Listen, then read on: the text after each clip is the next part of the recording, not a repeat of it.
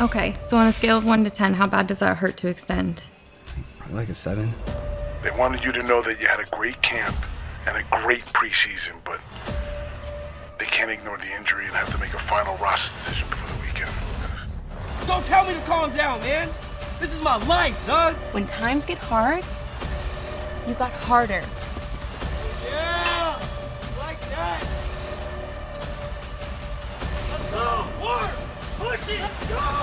Nothing is gonna stop you. Nothing. Don't give up on yourself.